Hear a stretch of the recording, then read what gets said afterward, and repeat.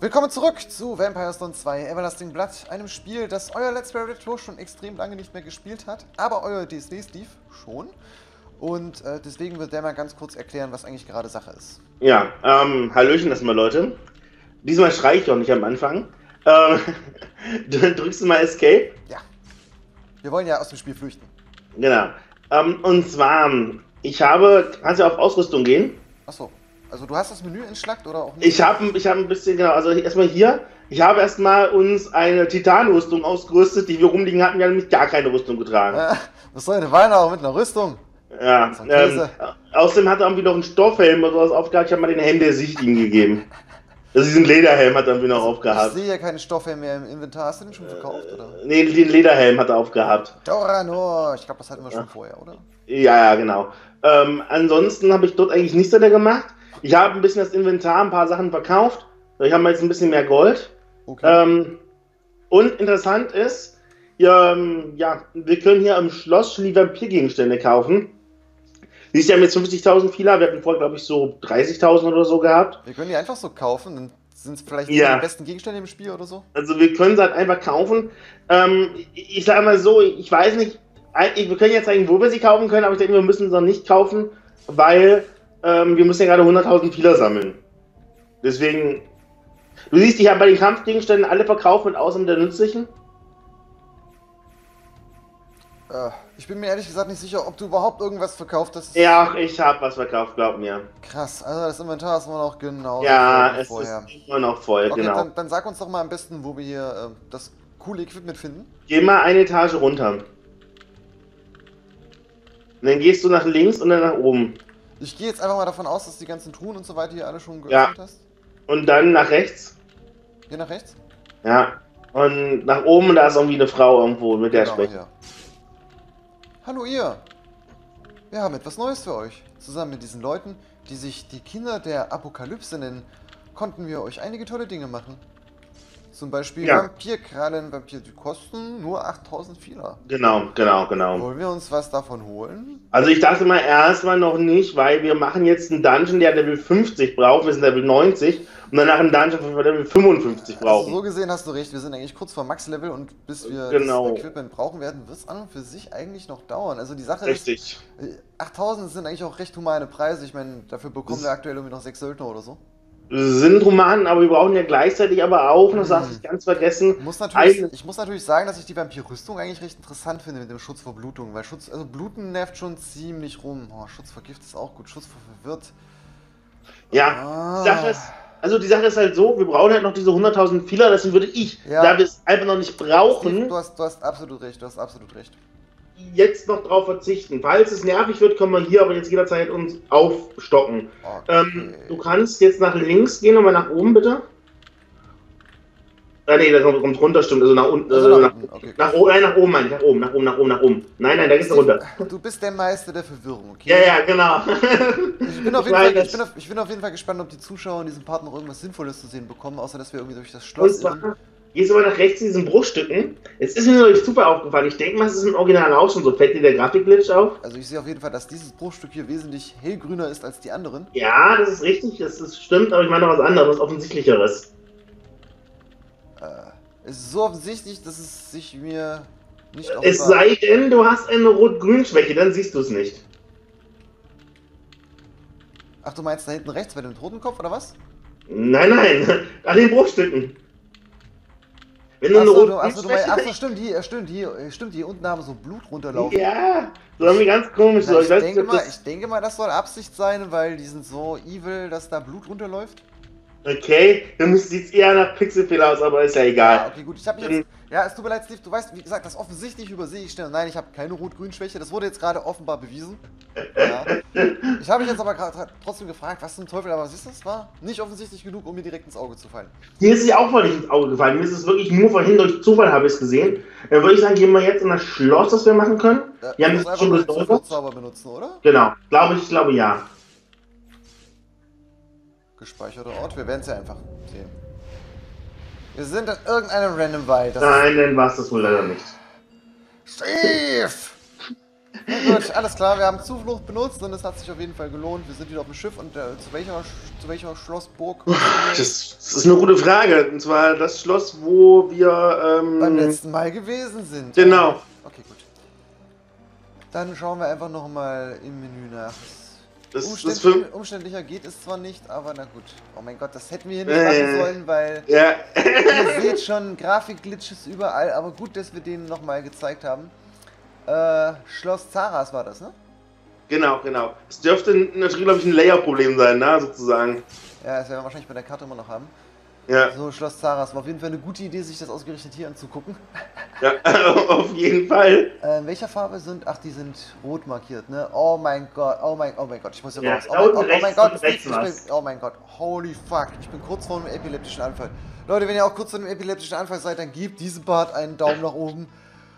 Boah, gut, dass das Und, irgendjemand und falls hat. ihr einen bekommen habt, die Glocke aktivieren. Und für gut befunden. So, also jetzt nochmal, Zaras suchen wir. Rechts. Ah ja, genau, rechts. Und Gott. Also nach oben fliegen. Boah, mir ist auf jeden Fall gerade wirklich leicht schwindlig, muss ich sagen. Das ist, ja, wirklich sehr gut Äh. gemacht. Dankeschön, Facebook, zur Erhöhung meiner Lebensqualität. Und jetzt äh, wollen wir natürlich eure Lebensqualität erhöhen, indem wir wirklich etwas Sinnvolles machen, und zwar Gegner wegklatschen und einen Dungeon erledigen. Genau. Erledigen natürlich, wir erlegen keine Dungeons. Außer Steve, der erlegt auch Dungeons. Das war nämlich diesen Dungeon, den wir so cool erobert haben, wo wir immer wieder ähm, gestoppt wurden. Mm, wir mussten wo noch gleich hin? Ähm, haben, wir, haben wir das Schloss als solches schon gelootet? Ja, haben wir. Okay, super. Ich Ähm, jetzt mal davon aus. Gehen wir nach oben? Nach oben. Achso, wir müssen wahrscheinlich oben irgendwie. Nee, nee, nee. Hier, hier rechts Ja, runter. hier, ja, das, das sieht gut aus. Das sieht gut. Geh mal nach oben. Was verstehen hier irgendwelche Wachen? Ah, Legionäre, jetzt redet vorbei. Danke. Und die Wachen sind absolut unnötig, denn niemand kann da durchgehen. Ja, Was zum, warum sollte hier irgendjemand Wachen postieren? Unser gelber Schlüssel leuchtet. Gelb. ich muss mal kurz dazu sagen, und ich weiß, ich habe das schon 10.000 Mal gesagt, aber ich liebe dieses Chipset. Und der Weg ist frei. Holen wir uns das Bruchstück. Hm, das ist wahrscheinlich aus Chrono Trigger geklaut Ja, oder so. also ja, es ist, ich, ich liebe dieses Chip. Ich finde das vom, von den Farben her so cool. Ich weiß auch nicht. Alter, was sind denn das denn für komische Gegner? Siehst du das? Den auch im Original. aber den wächst da oben irgendwie ein Penis statt einem zweiten Kopf, oder? Oder? Das sieht wirklich sehr phallusartig aus. Es ist halt. Leute, schreibt mal was in die Kommentare dazu. Ach ja, im Übrigen, da ihr in den Kommentaren sehr, sehr fleißig seid, wir werden irgendwann eines Tages noch Magie lernen. Macht euch darüber gar keine Gedanken. Aber erst, wenn wir es wirklich absolut notwendig haben. Denn momentan wäre das einfach nur reine Ressourcenverschwendung. Genau. Warum sollen wir irgendwelche Zauber lernen, wenn wir, ich weiß nicht, also gibt es irgendwelche coolen Zauber, die uns irgendwie Geld erschaffen oder so zum Beispiel? Weil den würden wir dann vielleicht sogar lernen, klar. Genau. Aber ansonsten wüsste ich jetzt nicht so wirklich, was wir aktuell mit Zaubern machen sollen. So, was kann man jetzt alles Tolles looten? Aber, und lass warte kurz. Gehst du mal kurz in diesen Raum mit nach oben? Geh mal nach oben. Ich möchte die hier, das Vampire Storm 3 Problem. Hier, bleib mal. Gehen wir nach unten. Bleib mal in der Mitte bei der Säule stehen. Geh mal nach unten zur Säule. Ja. So, hier. Hier bleibt mal stehen. Hier sieht man wunderbar das Vampire Storm 3 Mapping Problem.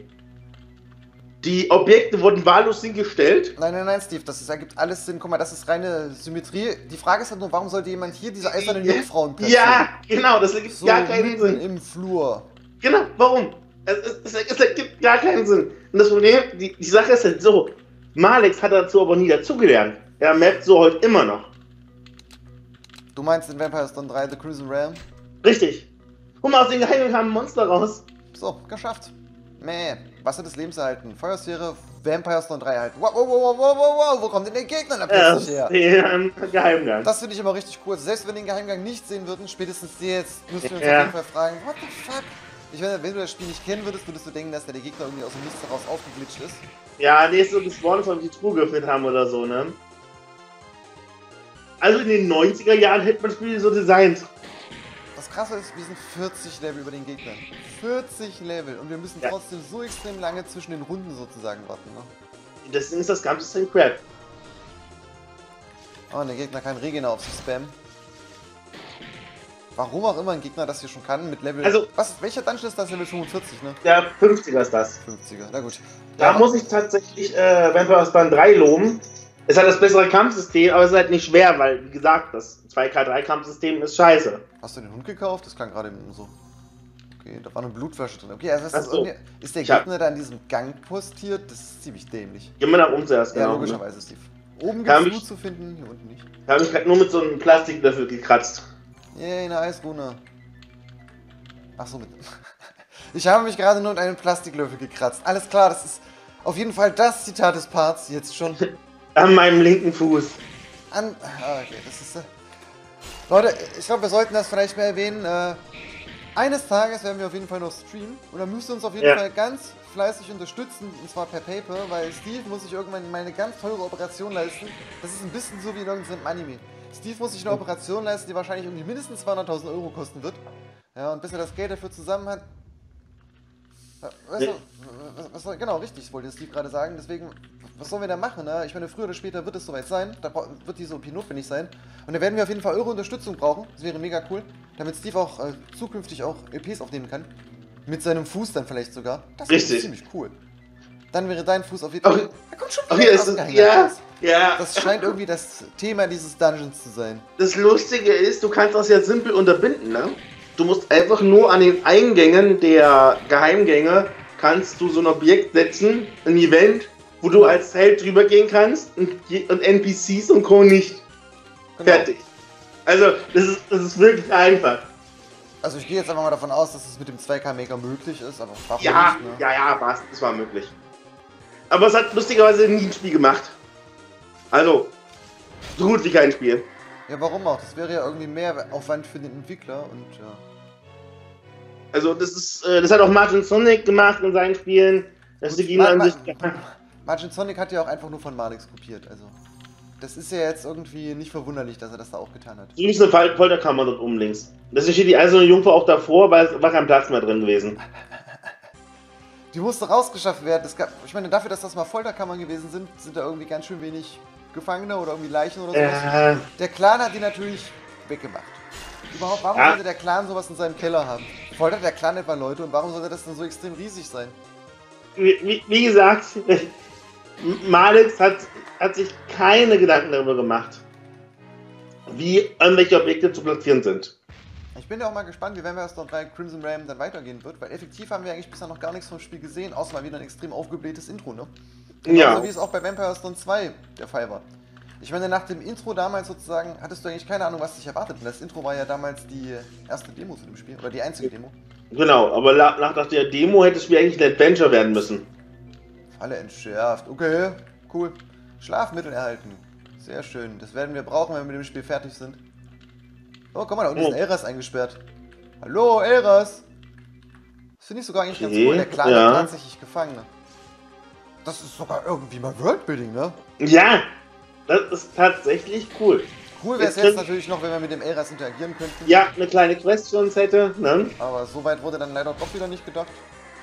Ja, zum Beispiel die Quest, dass wir ihn befreien und zu seinen Elras-Brüdern und Schwestern bringen. Wobei halt, das wäre irgendwie nicht sinnvoll für uns. Nein, aber könnt ja so was sagen wie, Aber ja, hier, ich will aussteigen. Mal, jetzt muss ich trotzdem mal kurz überlegen. Ich meine, an und für sich, wenn wir diese Route gehen würden, dass wir den Clan auslöschen. Ja? Und wir Mhm. löschen dann auch die Eras aus. Dann wäre hier unten aber ein Eras, den wir niemals besiegen könnten. Richtig. Und weißt du, was ich jetzt mache? Ich gehe jetzt mit STG zu dem rüber. Ich hätte es lustig gefunden, wenn jetzt irgendwie Vampirkrieger oder Vampirlord mit uns gesprochen hätte. Absolut kein Event. Okay, hier geht's auf jeden Fall auch runter. Ist das ein Dungeon, wo es mehrere Wege nach unten gibt? Höllenstab, das ist, äh, kann man übrigens einem Begleiter geben. War, übrigens, äh, war nämlich übrigens ein großes Geheimnis dann. Wir können in den großen Geheimnissen auch, und als allgemeinen Geheimnissen auch äh, Equipment finden. Kann man da auch die, ah, da kann man dann wahrscheinlich auch diese Verdammnisrunen oder so finden, oder Schattenrunen oder wie auch immer die heißen, ne? Ähm, ich glaube, seit ich es bekommen habe, leider nein. Und die sind halt in Truhen immer. Ach so, okay, schade. Hm, Um ehrlich zu sein, ist das auch das nervigste Thema. Ähm, es gibt halt eine Verdammnis, also früher braucht man diese Verdammnisruhen, um die Verdammnisklinge zu erschaffen. Und die Verdammnisklinge war scheiße. Weil die Verdammnisklinge einfach schlechter ist als das Vampirschwert. Ja. Sie haben 100% recht. Die es hier übrigens für nur 8400 zu kaufen gibt. Also so toll können die gar nicht mehr sein. Oder aber das Spiel war einfach nur super freundlich zu uns sein, weil das Geld-Balancing in dem Spiel ohnehin schon extrem derbe lutscht.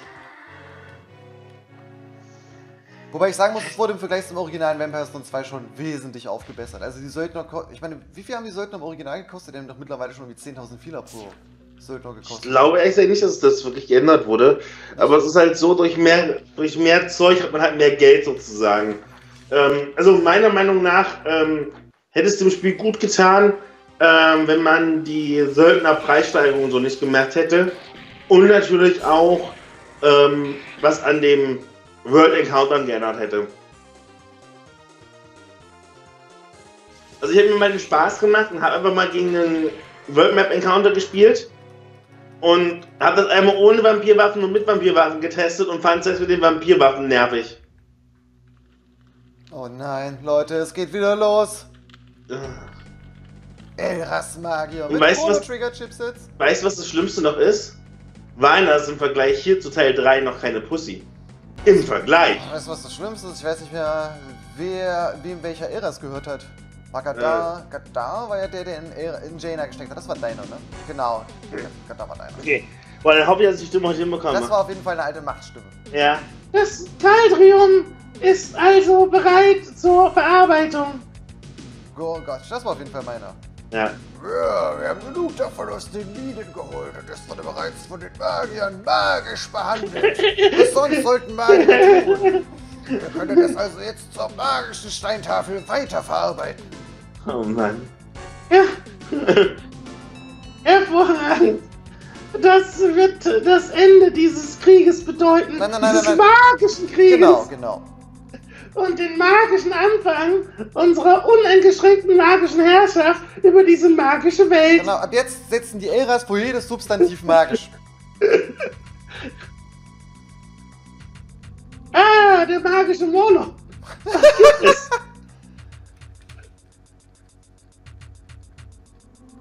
Ich glaube, die anderen waren jeweils immer genau, deine die anderen, genau. Die. Gadar! Magischer Gadar! Wir haben ihn! Mit Magie! Wen?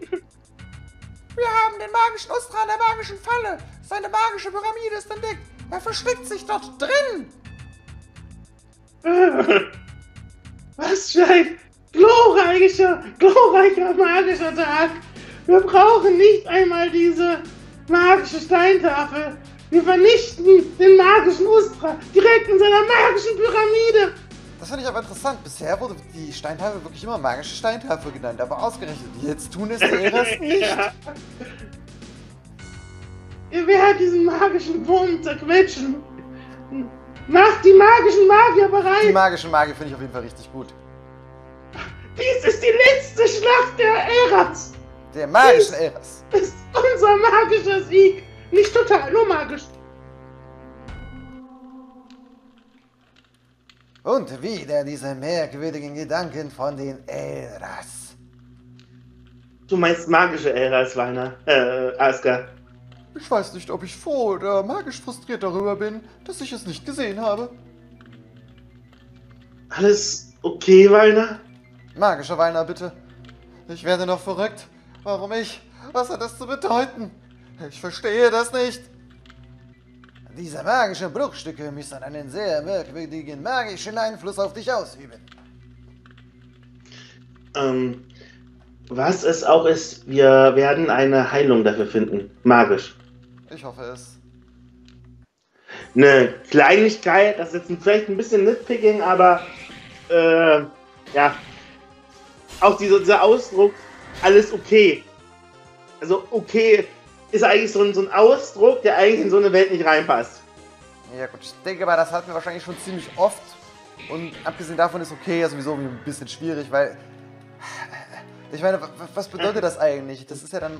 Wird das, ich ich finde das auch immer komisch, wenn das irgendwie ausgeschrieben dasteht. Also ich ich bin der Meinung, dass ein, also ich habe es ja noch nie, Guck mal, die haben große Augenbälle Ja. im Gefängnis und irgendwelche komischen Clowns. Ja. Vielleicht ist Also das ich- ein Vampir. Angriff der Ritter auf Burg Wahres. nein, wir haben noch nicht gespeichert zwischendurch, oder? Ich glaube, wir haben vor der Sequenz gespeichert. Ich hoffe. Ja, das schaffen wir auf jeden Fall nicht. Ich versuch's mal. Ich meine, mehr als verlieren können wir ja nicht.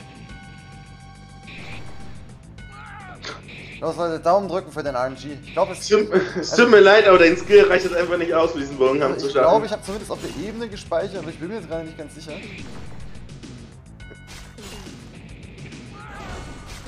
Okay. Spannend. Ja. RNG. RNG. RNG. RNG. Magische RNG. RNG. Magische RNG. Magische RNG. RNG. RNG. RNG. RNG. RNG. RNG. Oh Gott. Nein. Nein. Leute, legt euch doch mal ins Zeug hier. Das kommt schon. Ja, sehr schön. Ja. Junge, Nein. lass dich doch nicht zweiteilen hier. Geht doch einfach Da oben auf den drauf. Ja, warum können die nicht einfach mal alle drei auf den Dude draufgehen? Oh Gott. RNG! RNG! RNG. RNG! RNG. Oh Gott, das war so fucking knapp. Verdammte Scheiße. Was Ich für ein glorreicher wir Sieg. gerade elf. Elf Söldner verloren haben. Weißt du, das Gute ist aber, dass die uns jetzt wenigstens eine verdammt lange magische Zeit in Ruhe lassen werden. Ja, und das finde ich einfach mal verdammt magisch gut, okay? Warum setze ich jetzt eigentlich überhaupt schon vor jedes Wort magisch? Das ist Blutelixier erhalten. Yay. Da sind noch mehr wandelnde Seelen. Ja. Wir sollten dann auf jeden Fall mal, oder wir können ja zwischen diesem und dem nächsten Part nochmal nachgucken, wie viele Seelen wir haben. Aber ich meine, wenn, was die Leute natürlich auch in den Neun. Kommentaren schreiben, ist, dass wir unbedingt neue Fähigkeiten erlernen müssen. Und äh, das tun wir Das, regelmäßig. das, das tun wir auch regelmäßig, sobald wir eben die entsprechende Anzahl Seelen dafür Genau, haben. Also genau. mittlerweile, Ja. haben, genau, mittlerweile haben Ja. wir das entsprechende Level, dass wir das auch können. Wir hatten einen neuen gehabt, hätten vorher nachgeschaut gehabt. Äh, weil das nächste machen müssen es für ähm, Bogenkämpfe, die sozusagen das zu erhöhen. Neun, okay. Sicher, Bogenkämpfe, ja. Da haben wir, haben wir die restlichen guten Sachen alle schon? Wir haben halt die wichtigen Sachen mit Geheimnis gefunden schon. Wir haben, also äh, Geheimnisse finden. Wir haben Schlösser knacken komplett. Stadtzone. Und wir haben äh, Geheimnisse, also Geheimnisse finden, Geheimgänge, Schlösser knacken und Fallen. Das haben wir gemacht sozusagen. Okay, alles klar. Ich würde aber vorschlagen, wir werden dann einfach zwischen den Videos nochmal nachschauen und dann einfach im nächsten Part gucken, ob wir dann direkt irgendwas erlernen. Bis dahin würden wir uns auf jeden Fall wie immer über ganz viele nette Kommentare und äh, ganz viele magische Daumen nach oben freuen. Bis zum nächsten Mal hier bei Vampires 2, äh, Everlasting Blood mit eurem Let's Play Retro und Eurem DSD Steve. Tschö, tschö.